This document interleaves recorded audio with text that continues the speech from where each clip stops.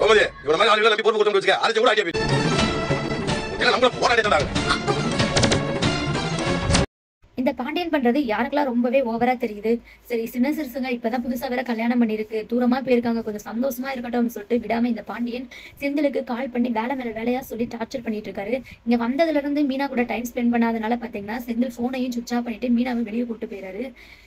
இதுல அம்மாஞ்சியா இருக்காம பாண்டியன் சொல்ற எல்லா விஷயத்துக்கும் தலையாட்டாம தப்புனா தப்பு கரெக்ட்னா கரெக்ட் நம்ம கதிர மாதிரி பேசினா நல்லா இருக்கும்னு நினைச்சீங்கன்னா மறக்காம இந்த வீடியோக்கு ஒரு லைக் போட்டுட்டு நம்ம சேனலையும் கூடவே சப்ஸ்கிரைப் பண்ணி வச்சுக்கோங்க ஃப்ரெண்ட்ஸ் பாண்டியன் ஸ்டோர்ஸ் நாளைக்கான எபிசோட்ல இங்க ஊருக்கு போன செந்தில் மீனா வீட்டுக்கு வந்துடுறாங்க. வந்தது வராதமா பாண்டியன் செந்தில புடிச்சு கேள்வி மேல கேள்வியா கேட்டு இருக்காரு என்னடா ஆஹ் நான் சொன்ன வேலையை முடிச்சிட்டியா? அவர்கிட்ட பணம் வாங்கிட்டு வர சொன்னேன் வந்துட்டியா? கொண்டா பணத்தை அப்படின்னு சொல்லிட்டு கேக்குறாரு. இல்லப்பா அவர் வந்து போன்ல வந்து பணத்தை அனுப்பிச்சு விட்டுருவாரு. அந்த மாதிரி வந்து செந்தில் சொல்றாரு. அது கேட்ட பாண்டியன் செம்மையா கோவப்படுறாரு. அதுக்கு எதுக்குடா உன்னை நான் இங்க அனுப்பிச்சு விட்டேன்? அவர் பணத்தையே கொடுக்க மாட்டாரு. சரி நீ நேர்ல பார்த்து அவர்கிட்ட எப்படியாவது பணத்தை வாங்கிட்டு வந்துருவேன் அப்படின்னு சொல்லிட்டு தானே உன்ன அனுப்பிச்சு விட்டேன். இப்ப நீ பணத்தை வாங்காமையும் போனையும் சுச்சா பண்ணி நல்லா ஊசி திட்டு தெரிஞ்சிருக்கு அந்த பொண்ணை கூப்பிட்டு. அப்படி இப்படின்னு சொல்லிட்டு ரொம்பவே கேவலமா வந்து செந்தில பிடிச்சி திட்டிடுறாரு. இதெல்லாம் பார்த்துட்டு மீனா பாத்தீங்கன்னா அப்படியே முகச்ச மணி நின்றுட்டு இருக்காங்க.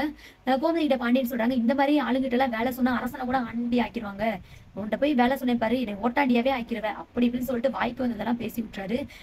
பக்கம் பாண்டியன் செந்தில திட்டுறதை பார்த்துட்டு தங்கமேல் சிரிச்சுட்டு நிக்கிறாங்க. இதை பார்த்து மீனா இன்னுமே கடுப்பாகி நிக்கிறாங்க.